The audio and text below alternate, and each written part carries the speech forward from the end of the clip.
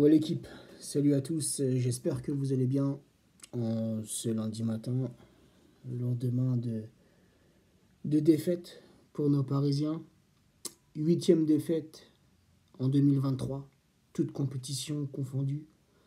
Cinquième défaite en Ligue 1 et surtout deuxième défaite consécutive puisqu'on s'était incliné face au Stade Rennais avant la trêve internationale. Quelle fin de saison va-t-on va-t-on vivre avec cette nouvelle défaite hier soir contre l'Olympique lyonnais qui était avant le match dixième?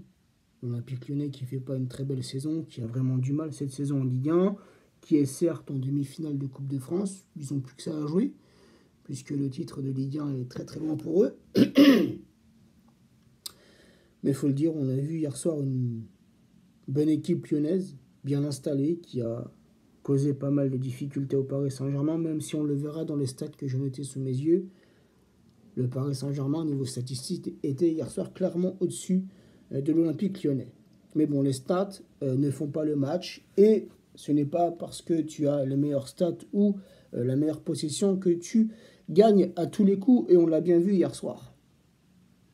Avec encore une fois un Paris Saint-Germain à deux visages, comme on a l'habitude de, voir bien trop souvent.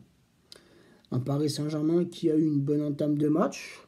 Pendant les 15-20 premières minutes, on a su euh, euh, s'installer, on a su s'imposer, on a su euh, dominer cette équipe lyonnaise avec quelques occasions. Je pense notamment à cette combinaison dans la surface entre Messi et, Mbappé. Hein, ce petit ballon piqué qui passe pas très loin. Il y a eu quelques tentatives en première mi-temps, mais rien de bien dangereux pour Lopez. Et il y a eu un ce penalty, euh, je dirais logiquement accordé pour l'Olympique lyonnais, qui a été frappé par la casette sur le poteau. Euh, ça a été repris aussi par un, joueur lyonnais qui l'a, mis au-dessus, mais euh, hormis ça, une première mi-temps avec un score nul 0-0. Tu te dis, bon, on s'est, un peu, comment dire, on s'est un peu fait bouger en première mi-temps, mais on a eu quelques occasions. Ça sera mieux en deuxième mi-temps. En tout cas, j'avais l'espoir qu'en deuxième mi-temps, on mette un petit coup d'accélération et qu'on aille inscrire ce petit but. malheureusement, ça ne s'est pas passé ainsi. Euh, sachant qu'il y a eu aussi, euh, un fait de jeu euh, pour le Paris Saint-Germain, une, une main sur un centre de Nuno Mendes, une main dans la surface lunaise qui n'a pas été sifflée. Je crois que c'est juste avant la mi-temps, si je ne me trompe pas. Reprenez-moi si je me trompe. Donc, tu as la casette qui, à la, euh, je crois que c'est à la 36e ou 37e minute, qui rate le penalty. Et quelques minutes après, donc juste avant la mi-temps, tu as euh, Mendes qui, qui centre dans, dans, la surface lyonnaise et c'est contré par la main du Lyonnais. tu te dis normalement, frérot, la main est décollée, c'est clairvoyant, il y a penalty. Non. Hein, l'arbitre, je ne sais pas, euh, je, ne sais pas. La VAR, les mecs dans le bus, je ne sais pas ce qu'ils faisaient à ce moment-là. Mais en tout cas, le penalty n'a pas été accordé et le Paris Saint-Germain a obtenu un corner. Mais bon, la team, même avec cette erreur-là, on va pas se cacher derrière cette erreur d'arbitrage. Parce que franchement, en deuxième mi-temps, la team, on s'est fait marcher dessus. On s'est clairement fait marcher dessus en deuxième mi-temps. À aucun moment, on a eu cette envie à aucun moment, on a eu ce sursaut d'orgueil, cette paire de couilles. Hein, faut le dire, faut dire les termes. À aucun moment, nos joueurs ont eu cette paire de couilles pour aller marquer, pour aller égaliser. Quand Lyon a ouvert le score à la 56e minute par Barcola, qui part entre deux joueurs, hein, sur un centre, un ballon qui atterrit dans la surface parisienne, un centre à rater. T'as Barcola qui part entre Danilo et Hakimi. Il part entre les deux. Revois l'action. Il part entre les deux. Il prend de vitesse les deux. Comment t'as comment deux joueurs parisiens qui sont au mar... Un seul joueur, il arrive à, prendre de vitesse les deux, à se faufiler dans leur dos et, et venir tromper Donnarumma. Mais à aucun moment on a eu l'envie d'aller égaliser. Parce que la deuxième mi-temps a été catastrophique. Catastrophique. Comme je l'ai dit, c'est, trop souvent qu'on assiste à ce genre de choses. Un Paris Saint-Germain en dents Un Paris Saint-Germain à deux visages. Un soit on joue bien en première mi-temps, la seconde mi-temps on est complètement à la ramasse ou c'est l'inverse.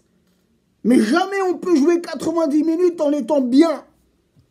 en étant dominateur, en étant conquérant. Jamais.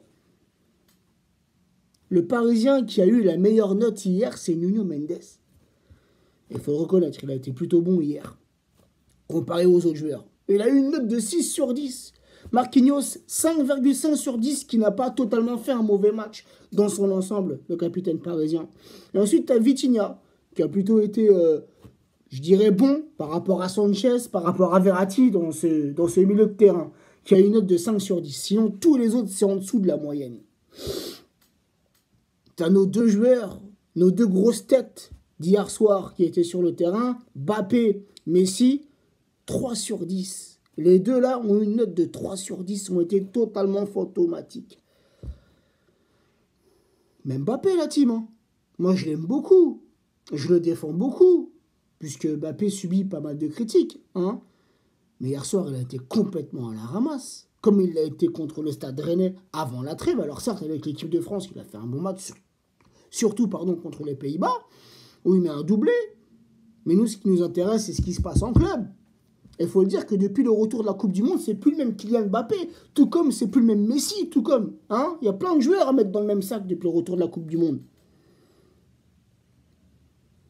Mais après Mbappé, encore une fois, on peut l'apprécier, on peut euh, euh, l'admirer pour tous les talents qu'il a. Il est critiquable hein, quand, euh, quand, il doit être critiqué, comme, comme chaque joueur. Personne ne, ne, ne doit passer à travers. Quand un joueur est critiquable, on doit le faire, la team. On doit le dire. Mais après aussi, il faut reconnaître que dans un autre sens, si on n'aurait pas un Kylian Mbappé cette saison, je pense pas qu'on serait premier au classement. Tu vois ce que je veux dire? Il peut passer à côté de quelques matchs. Ça peut arriver à tout joueur, à tout grand joueur.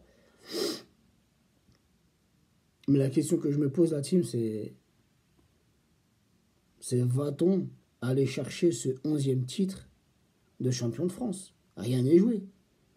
Là, au moment où je fais cette vidéo, on est certes toujours premier, avec 66 points. On a Lens qui nous colle à la peau avec 60 points. L'OM troisième avec 60 points.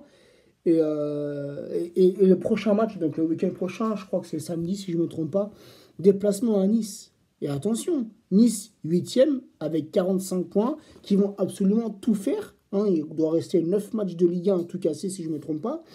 Et Nice qui va vouloir grappiller des points pour aller chercher une place européenne, pour aller décrocher la cinquième place. Donc attention à ce déplacement à Nice. Et dans 15 jours, c'est la réception de Lens au Parc des Princes, le dauphin du Paris Saint-Germain au Parc des Princes. Après les autres matchs, ça reste des matchs qui sont un peu plus à notre portée pour la fin de saison. Mais là, on a deux gros matchs qui arrivent. Quel va être l'état d'esprit de nos joueurs? Parce que franchement, sur le match d'hier, tu, tu, vois des joueurs, toi, qui ont envie Moi, j'ai plutôt l'impression de voir des joueurs qui ont tout lâché, qui baissent les bras, qui n'en ont clairement, on va se dire entre nous, plus rien à foutre. C'est l'impression que j'ai, en tout cas, c'est le ressenti que j'ai. Tu prends du plaisir, toi, devant des matchs du Paris Saint-Germain depuis quelques mois? Sincèrement, entre nous, est-ce qu'on prend du plaisir? Moi, je suis obligé. T'as vu, je suis obligé de regarder. Ça fait ça fait je ne sais combien d'années que je n'ai pas raté un match. Hein que ça soit euh, Ligue 1, euh, Coupe de France, euh, Ligue des Champions, plus anciennement la Coupe de la Ligue quand elle était encore d'actualité. Les matchs de pré-saison, les matchs amicaux, on ne rate pas un match. Ça fait des années et des années que je n'ai pas raté un match. Un match, la team. Que ce soit n'importe quel match. Mais est-ce qu'on prend du plaisir actuellement? Pourtant, on a le meilleur effectif de Ligue 1 on a une grosse équipe que beaucoup de clubs aimeraient avoir, un beaucoup de joueurs que d'autres clubs aimeraient avoir dans leur effectif. Mais est-ce que c'est pour autant qu'on prend du plaisir? Moi, je regarde des matchs par obligation. C'est mon club de cœur. Même si, même si j'en ai marre. Même si j'en ai marre de ce que je vois. Même si j'en ai marre de, de voir ce que devient mon club. Je peux pas m'empêcher de, de regarder un match. Je peux pas. C'est plus fort que moi. Pourtant, des fois, je te jure que j'ai pas. J'ai pas l'envie, j'ai pas la motivation. Je me dis à quel genre de match on va assister encore que le match d'hier soir.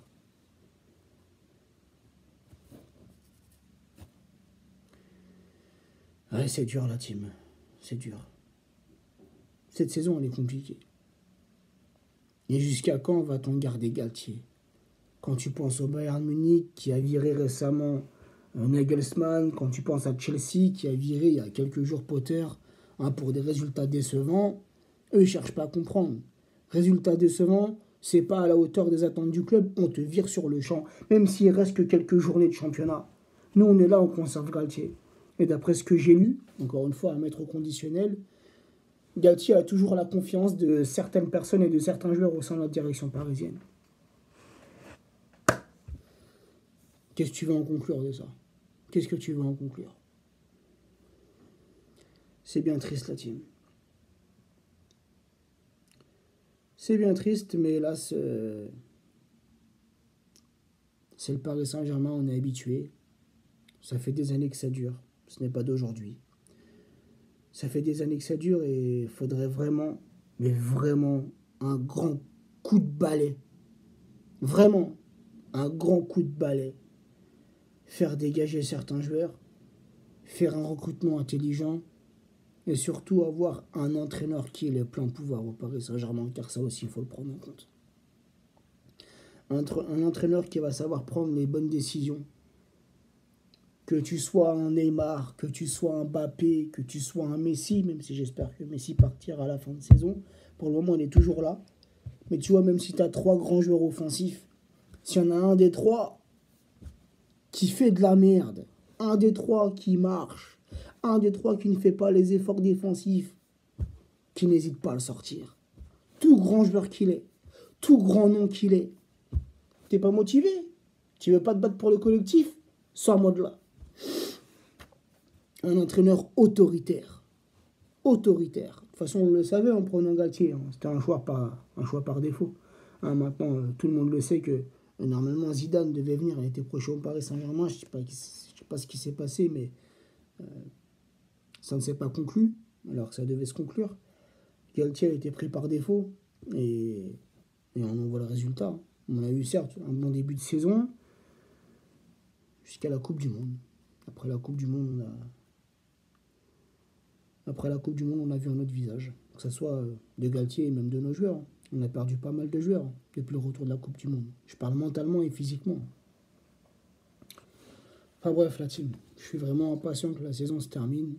On était bien pendant la trêve, on va pas se mentir. En tout cas, moi, ça m'a fait du bien. Avant la trêve, défaite. Retour de trêve, défaite. Moi, je vous le dis, le titre est loin d'être joué, la team. Très, très loin d'être joué. Pourtant, on avait une longueur d'avance, on s'était mis à l'abri. Mais c'est pas comme si on n'avait jamais vécu ce genre de choses. Hmm Allez, prenez soin de vous la team. Ciao.